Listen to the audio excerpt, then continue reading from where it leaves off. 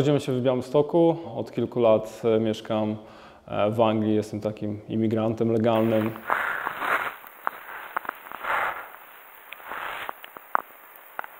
W planach miałem zdawać na leśnictwo, ale chyba moja matematyka była zbyt słaba. Zobaczyłem, że jest taki kierunek jak ratownictwo medyczne, podpasowało mi i... Skolko kilogramów? Nie znajecie 10?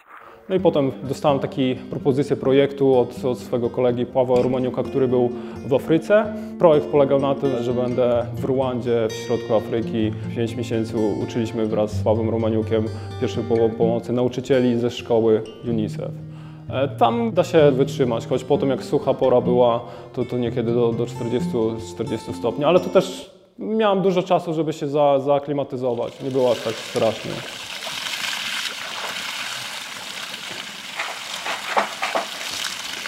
Naprawdę nie wiem, kiedy to, to, to się zaczęło. To chyba jakoś tak płynnie to wszystko przebiegło. Ja za, zawsze pamiętam, lubiłem spędzać czas na, na łonie przyrody. Rodzice nie mieli zazwyczaj pieniędzy, żeby mi wysłać na kolonie, to zawsze wysyłali mnie do swoich dziadków. A bardzo po prostu lubiłem tam spędzać czas, pomagać przy żniwach. Pamiętam, dziadek mnie zabierał zawsze gdzieś tam na rzekę, na ryby. E, rower. Na początku to trzeba zaznaczyć, że ja nie zdałem na kartę rowerową. Pamiętam wtedy też się, się rozpłakałem jako taki młody chłopak. Ale mama powiedziała, dobra Krzysiek, tam, tym się nie przejmuj, wracaj do, do swojego życia. Ale z biegiem czasu no, więcej przyjechałem na, na rowerze, więcej zobaczyłem niż ci osoby, które zdały na tą kartę rowerową razem, razem wzięci. No, ja więcej poznałem świata właśnie za pomocą roweru bez karty rowerowej.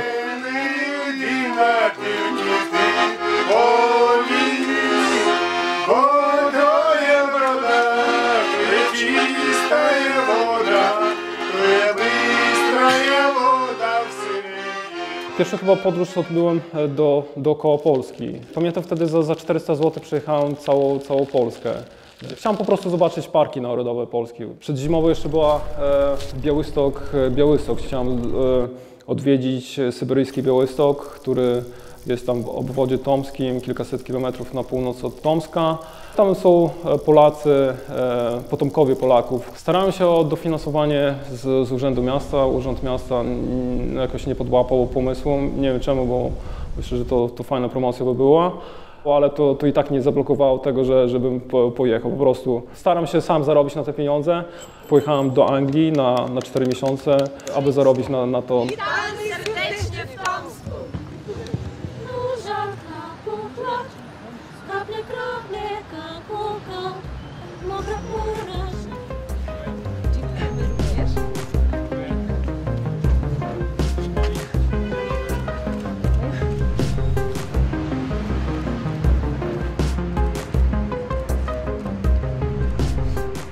В Польше я увидел по телевидению передачу о Сибири. Оттуда я и узнал о селе Белосток в Томской области и решил совершить это путешествие. Урал, Сибирь, Байкал, хочется все это увидеть. Днем я постоянно в движении, так что не чувствую холода, а ночью, да, конечно, холодновато, но меня очень хорошо встречают люди, приглашают переночевать, расспрашивают про поездку, так что я не замерз. Takim celem był dowiezienie listów. Jeden list to był od uczniów ze szkoły numer 5 na Kamiennej, którzy swego czasu korespondowali z, z dziećmi właśnie z syberyjskiego Białegostoku, tylko ten, ten ko- kontakt się urwał pewnego, e, pewnego czasu. Ja po prostu jakiś list, e, jakieś malunki tych dzieci chciałem dowieść właśnie. Wróciłem na jesieni, czyli ponad e, 3 miesiące i około 9 tysięcy kilometrów, bo oprócz tego postanowiłem, żeby Bajkał zobaczyć, bo zawsze ten, ten Bajkał, taka ikona, ikona Syberii, jeszcze kilka tysięcy do, kilometrów dołożyłem do tego, żeby, żeby ten Bajkał zobaczyć. No a potem wróciłem koleją transsyberyjską do, do Sankt Petersburga, potem z Sankt Petersburga już na rowerze do Białegostoku.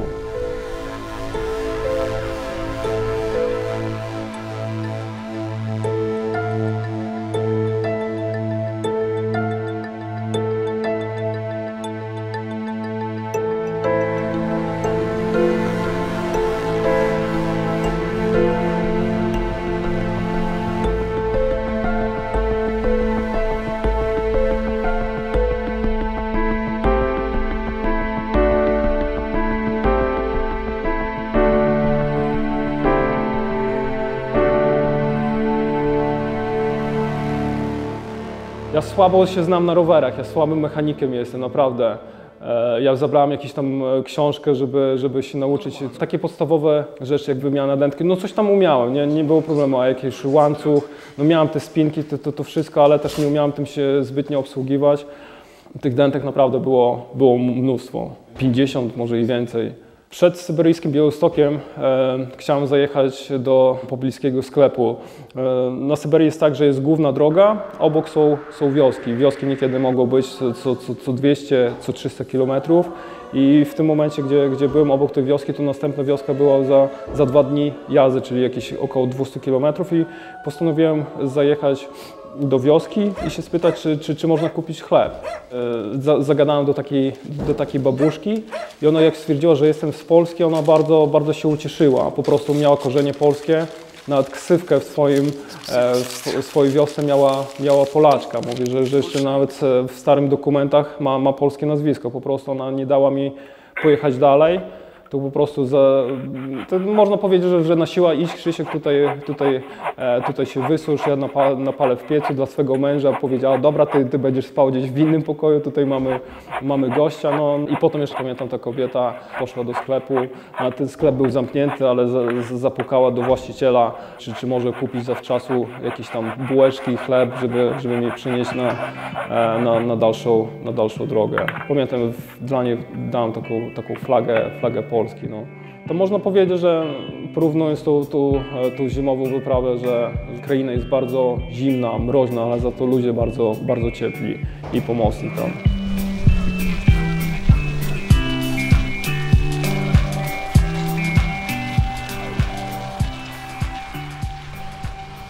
kilkaset kilometrów przed Tomskiem z Kamaza wyskakuje taki, taki chłopak i po prostu zobaczył, że, że, że jadę na rowerze, jakiś tam samotny, samotny podróżnik i on wyskakuje z Kamazu, on gdzieś tam był w Kirgistanie, gdzieś jakiś szczyt zdo- zdobywał. Zaczyna się rozmowa, mój rosyjski był taki, taki słaby, no ale rozumiałem, co do mnie mówił. No i on proponuje mi udział w, w ekspedycji, zimowej ekspedycji rowerami e, przez, e, przez Jakucję, gdzie tam temperatury spadają do, do minus 50. A хорошо, powiedziałem, zgodziłem się. A co się okazało, że, że ten chłopak słyszał o mnie. Jakieś kilka miesięcy wcześniej, e, może nawet i pół roku, gdyż ja korespondowałem e, z Wasylem Hanewiczem, który był takim kustoszem Muzeum NKWD. On wywodził się z tego syberyjskiego Białegostoku i po prostu mieliśmy mailowy kontakt i ten Wasyl Hanewicz był patronatem tej wyprawy Drugami Pamięci, gdyż no, tu był taki akcent związany z, wy, z wywózkami, e, czy to Rosjan, czy, czy to innych narodowości, czy Polaków właśnie na Sybir i on patronował tą podróż. No i on powiedział, że ty może taki Polak jedzie do, w, mo, w moim kierunku, przynajmniej będzie jechał w moim kierunku, może zaprosi tego Polaka właśnie do tej podróży. No i tak się stało, że gdzieś w środku Rosji, w środku, w środku Syberii spotykamy się i, i on mnie zna i myślę, że, że takie, takie spotkanie no, no nie zdarza się zbyt często w takim dużym kraju jak Rosja.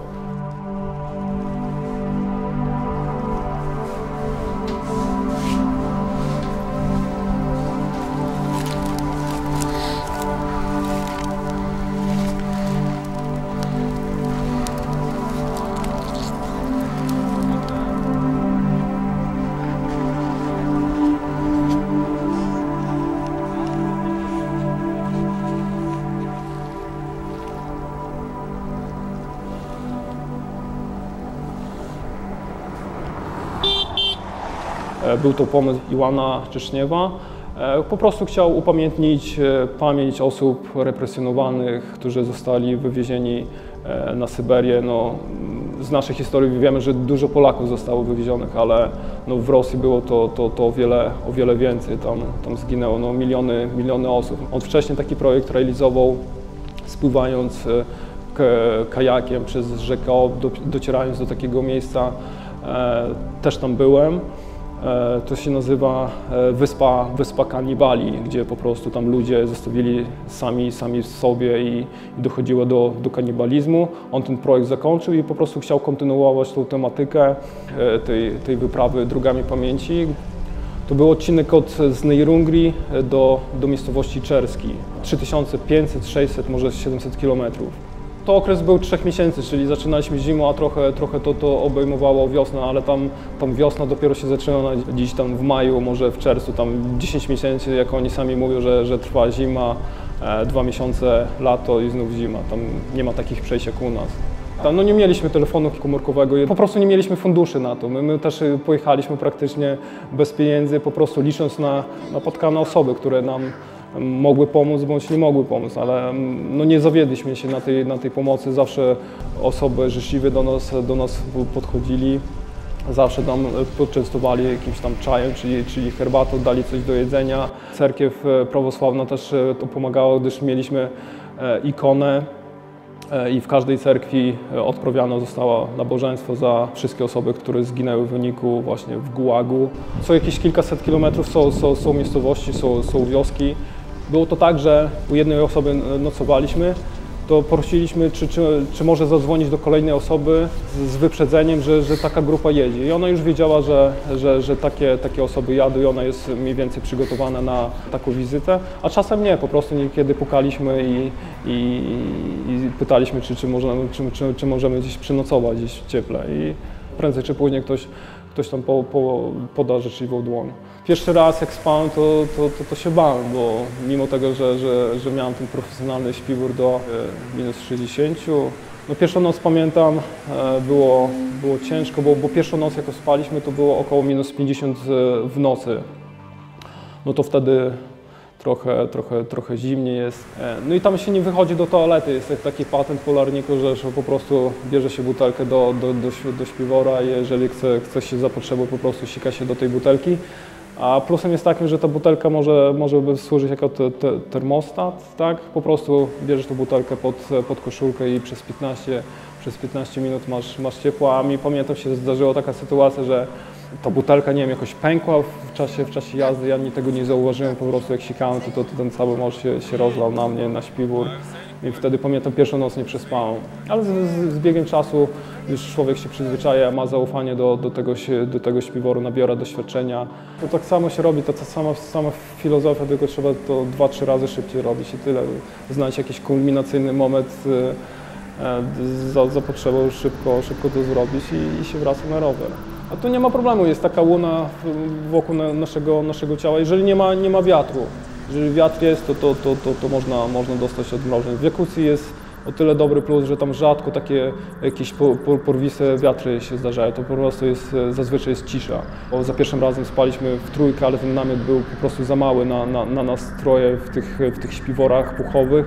I po prostu za każdym razem, jak chłopacy już e, dochodziło do tego, że, że mieliśmy spać e, gdzieś tam przy drodze, to ja spałem po prostu na śniegu, takie legowisko przygo- przygotowałem, a chłopacy spali, spali w namiocie. Karimatę, wszystkie jakieś takie e, dodatkowe ubrania się kładzie na tym, na tym śniegu, e, kurtki grube też, też na to się nakłada i po prostu człowiek, człowiek, człowiek zasypia. No. To nie jest taki sen jak, jak, jak, jak w łóżku, co, co jakiś czas człowiek musi się przebudzić, musi właśnie tak się e, takie dreszcze przychodzą, ale potem, potem takie krótkie, krótkie momenty snu się pojawiają w trakcie. Jeżeli się zjeżdża z drogi, tam jest zazwyczaj tajga, las i w tych, w tych lasach te- tego śniegu jest zazwyczaj po kolana.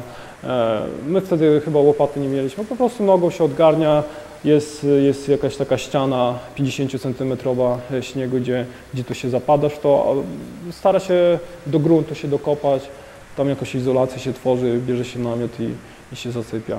Ciekawe, że, że ta noc nie, niekiedy trwa 10-12 godzin, a, a, ona mija tak bardzo, bardzo szybko.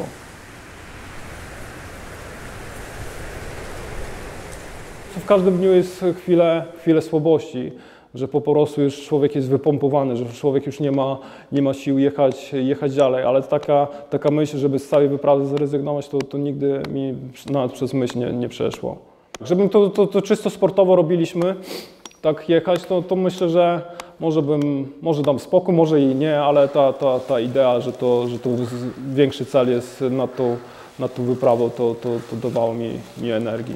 Byłem wypompowany, naprawdę było ciemna, ciemna noc i wtedy e, dętka, dętka mi pękna już, a szliśmy pod, pod górkę, po prostu już nie, nie miałem sił, już myślałem, że, że, że, że teraz obóz ro- rozbijemy, a do, do następnej tak jakby mm, punktu, gdzie, by, gdzie, gdzie mieliśmy nocować, było no, kilkadziesiąt kilometrów. No, po prostu już, już wtedy, pamiętam, się modliłem do Boga, żeby, żeby no, mi pomógł. No, ale ta modlitwa szybko została wysłuchana po, po prostu po, po kilkudziesięciu sekund, sekundach. Po prostu Igor, pamiętam latarkę Igora, że podchodzi do mnie, bierze mój e, e, niesprawny rower, daje swój sprawny. Po prostu ten mój niesprawny było ciężko pchać, bo po prostu była, był kapeć, no po prostu go trzeba naprawdę ciągnąć. Jeszcze, jeszcze, jeszcze pod górkę. Mm, Jakiś kierowca zatrzymał się po, po, po jakimś tam czasie, 20-30 minutach. Mo- Mogliśmy skoczyć do, e, do, do samochodu, szybko zmienić, zmienić dętkę i, i pojechać dalej.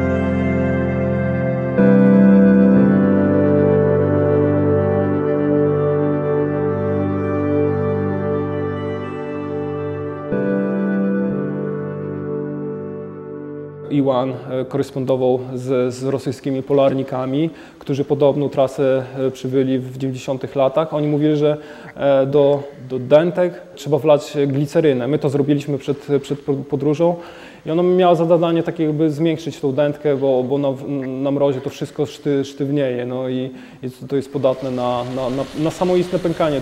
No ale niestety ten patent się nie, nie, nie sprawdził. No, już chyba w pierwszym dniu musieliśmy zmieniać, zmieniać dętkę.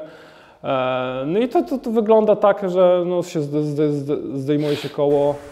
Ciężko w ogóle tą, e, tą oponę zdjąć z obręczy, mimo tego, że mieliśmy sil- silikonowe opony, po prostu to wszystko sztywnieje, zdejmujemy tą dętkę. No i jak to, jak to zrobić? No wszystko w takich e, dużych rękawicach tego się nie, nie zrobi, to trzeba, to trzeba zdjąć rękawicę, trochę coś to porobić, ale to też się zrobi do, do minuty, nie dłużej, potem się z, z, w, znów się zakłada rękawice takie puchowe, żeby rozgrzać koniuszki palców i, i kolega znów pomaga, e, żeby coś tam, coś tam zrobić.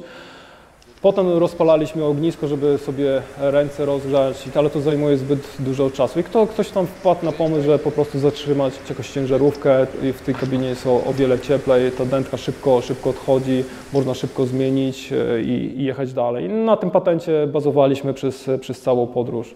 Drugiego razu to samo, Zębatka po prostu się nie, się nie ruszała. Tam w środku coś tam w kasecie tam za, zamarzało, po prostu jak na pedały się, się nakręca, to po prostu się stoi w miejscu.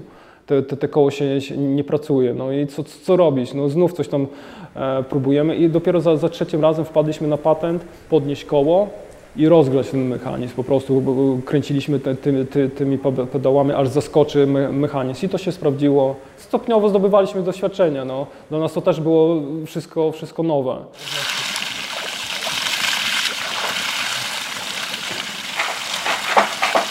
Chatemi jest położona w takiej, w takiej dolinie, gdzie ten mróz się zbiera. Jest e, o kilka stopni zimniej niż, niż no, kilka kilometrów e, przed lub za Chatemi. On, on, one niekiedy jest na, nazywane drugi, drugim Oymyakonem, a Oymyakon jest no, takim biegunem zimna, gdzie tam temperatura spadała do minus 72 dwóch stopni. No i co się okazało, my, my trafiamy do tej jednostki straży pożarnej, tam nocujemy. E, No i też trafialiśmy na taki moment, że to bardzo, bardzo zimno było. Wtedy mówili, że sami, sami mieszkańcy, że, że dawno takiej zimy nie było. Tam spadało do, do poniżej, poniżej minus 50 stopni. No i tam my nocowaliśmy. Pierwszej nocy próbowaliśmy wyjechać. Coś tam znów się złamało. No na tym mrozie próbowaliśmy coś, coś zrobić. No, byliśmy oddaleni jakieś kilka kilometrów od, od, od tej straży pożarnej. No, no nie jedziemy, bo mamy do, do pokonania 100 kilometrów e, przez, e, przez wzgórza. Byśmy nie, nie, nie dali rady, po prostu wracamy znów do tej straży pożarnej. Się śmieją z nas z takim lekkim uśmieszkiem, a co, no, no, nie udało się, no, lepiej wracajcie, wracajcie do, do domu. No, część nie wierzyła w nas. Ale część, jeden taki człowiek, pamiętam, zawsze, zawsze nas podbudowywał. Dobra chłopaki, spróbujcie jeszcze raz, macie tu wszystkie, e, wszystkie narzędzia, które my używamy do, do, na, do naprawy swoich wozów, co, co, co, co, co chcecie, to, to bierzcie. Przynosił nas, nam jakieś od, od swojej żony zupy jakieś ciepłe, żebyśmy mieli, mieli co jeść. Można zamówić e, takie suszone jedzenie, e, liofilizaty, co się nazywa, ale my tego nie mieliśmy, po prostu nie mieliśmy na to, na to pieniędzy, mieliśmy bardzo takie podstawowe jakieś kasze. Ja pamiętam, wziąłem tylko 500 zł na 3 miesiące, gdzie, gdzie ceny są dwukrotnie większe niż w Warszawie. Bo ze względu na to, że, że transport jest bardzo drogi, no po prostu my liczyliśmy na, na dobro tych, tych ludzi. Oczywiście mieliśmy tam jedzenie, potem cerkiew nam, e, nam w Jakucku e, kilka, kilka kartonów jedzenia ku, kupiła, kilka e, tam jakieś cukierki, cukier, jakieś takie, takie po prostu się ładuje do, do sakw rowerowych, ile, ile da się, a reszta, a reszta staraliśmy przetransportować do, do następnej miejscowości. Po prostu łapaliśmy autostopa, te, te jedzenie, no i tak Trzeba uważać, żeby tego nadmiaru ciepło nie, nie, nie było. Jak człowiek jest ciągle, ciągle w ruchu, to, to jest, jest, jest ciepło. Trzeba bardzo uważać, żeby tego ciepła nie było zbyt, zbyt dużo. Po prostu organizm można się pocić, a pot jest naj, najgorszym właśnie w zimę. Po prostu człowiek, człowiek dygoceje i powoli, e, nie chaotycznie, bez takich, przy, takich szybkich zrywów, po prostu systematycznie, powoli, e, krok po kroku. W pierwszych tygodniach Iwan e, jakoś z, e, odstawał od nas. Igor już to jest bardzo silny, silny chłopak. On wcześniej w jakieś trzy miesiące wrócił z podróży przez jakieś tam Azję. Ja też wróciłem z tego syberyjskiego Białegostoku, czyli ja już tam w nogach miałem kilka tysięcy kilometrów. Ja już byłem wyrobiony. Natomiast Iwan jakoś się nie przygotował do, do tego fizycznie. Nie zostawał w tyle. Widział, że, że się męczy, że, że, że to też chorował. E, Ale potem z- biegiem czasu to, to człowiek się, się wprawia i on też dorówna. Potem na końcu podróży to ja już, już nie, nie, nie dawałem rady. Pamiętam, oni mieli taki pomysł, że, że przez całą noc jechać do, do, naj, do najbliższej miejscowości.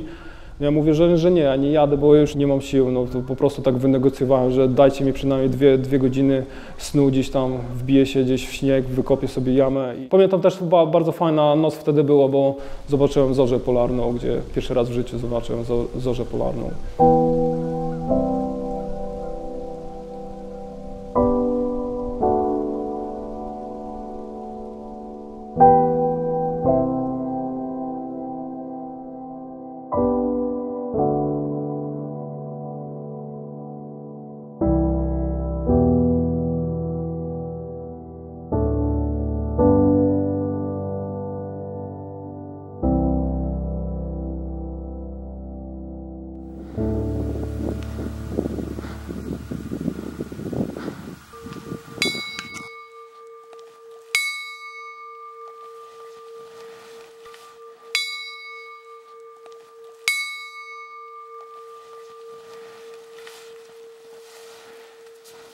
Samotności dobrze, dobrze się czuję. Mnie to... y, Nie mam, nie mam z tym problemu. Tak się nie robi.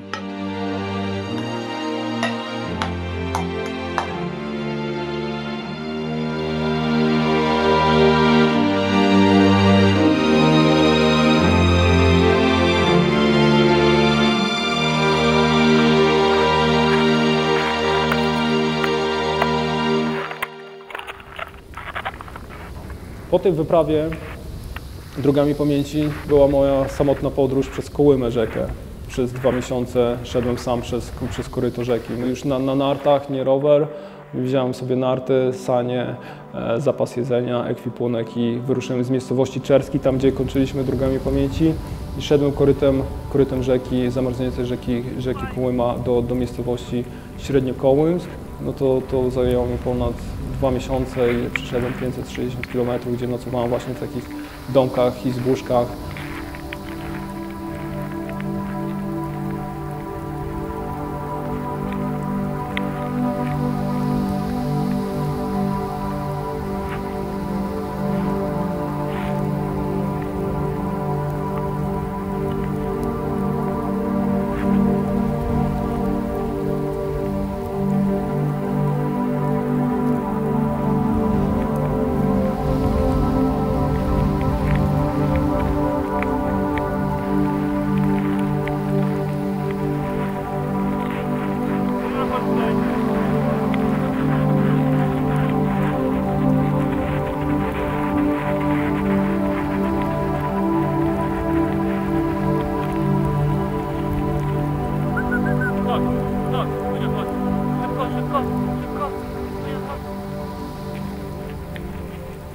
Rzeką spotykałem e, właśnie myśliwych, rybaków, no to, to jest wyzwanie. Nawet jak e, mailowałem z osobą, która do, dobrze zna Syberię od kilkudziesięciu lat, Roman Kuperski, no, no on powiedział, że to nie jest realne. No mówię, że on by sam, mimo tego swojego doświadczenia, by tam się nie wybrał w taką podróż. No oto moje posłanie e, na Kołymie, na Syberii jest, e, jest taka mata, która rozkłada się na śnieg, potem jest karimata thermarest, no i najważniejsze jest e, skóra renifera. No ona trochę waży, ale drugi raz bym ją zabrał na taką, na taką podróż. O Jezu, jak ja nie lubię tego kamerowania. O Jezu, zmęczony jestem. No jeszcze 7 km przede mną, żeby dojść. Kurde, zimno się robi. Jest słaba pogoda, słaba widoczność. No ale myślę, że dojdę dzisiaj i odpocznę. No wieje dzisiaj, ale podoba się. Chodź tu, Sonia. Myślę, że, że no Bóg jest dobrym towarzyszem podróży. Mimo tego, że idę sama, tak naprawdę mam do kogo się zwrócić. No, mimo tego, że mam GPS-y, mapy, ale to, to, to Stwórca i tak no, stworzył to i jeżeli tylko poproszę Go o jakąś tam pomoc, On mi pomoże. No i to poczucie, że, że ktoś jest ze mną, do kogoś mogę, mogę się, się zwrócić. No. Była taka sytuacja na, na Kołymie, też to zdarzyło się, się w nocy, gdzie miałem e, iść do, do takiej izbuszki, do, do, do człowieka, Andrzeja, którego spotkałem dwa dni wcześniej. On powiedział, że zajdź koniecznie do mnie, tam się wysuszyć, tam, tam się odpocznie. No i rzeczywiście e, po dwóch dniach już, już praktycznie byłem blisko, ale nie, nie widziałem dokładnie, gdzie, gdzie jest jego domek. No, zazwyczaj w ciemności powinno być jakieś światło widoczne, jakaś, jakaś taka, taka łuna. Ja tego, tego, tego nie widziałem po prostu i był głęboki śnieg, mi bardzo ciężko było, e, było, było iść. I już miałem, miałem, miałem takie poczucie, żeby rzucić te narty, rzucić te sanie, po prostu w, w, w, pójść do, do zaspy, zakopać się, po prostu wykopać sobie jamę. Miałem doświadczenie, nie, nie bałem się tego, tego, te, tego noclegu. No ale szedłem, szedłem i wtedy mm, nie wiem, czy to było wołanie o pomoc, czy to jakaś taka modlitwa z głębi, głębi serca po prostu, bo powiedziałam Boże pomagaj, bo, bo już, ja już nie daję, nie daję rady. Możesz wierzyć bądź nie, ale po 30 sekundach usłyszałem warkot silnika. Po prostu Andrzej odpalił generator prądu i dzięki temu mogłem dojść po głosie do jego izbuszki. Być może bym zrezygnował, no bo, bo, bo, bo nie wiedziałem doko, tak naprawdę dokąd, dokąd idę, za ile będzie ta, ten domek, za ile będzie, będzie bezpiecznie. Mieszkam w Anglii, no, w cywilizowanym świecie, ale od czasu do czasu po prostu mam taką, taką tęsknotę do natury, taką potrzebę przeżycia jakiejś przygody, taką potrzebę jakoś bycia, e, bycia, bycia sam, obcowania z tej naturze, że po prostu to jest silniejsze i czy ktoś powie, że nie jest tego, bo, bo tu już jesteś za stary, zajmie się rodziną. Nie, po prostu ja mam czas na rodzinę i czas też na, na, swoje, na swoje potrzeby. Uważam, że lepiej rowerem niż, niż samochodem. Samochodem jest zbyt szybko, że, że pewne rzeczy można przełożyć. W samochodzie jest człowiek zamknięty, a w rowerze jest bardziej otwarty, czyli bardziej jest no, lepszy kontakt e, z człowiekiem, który, który tam przychodzi.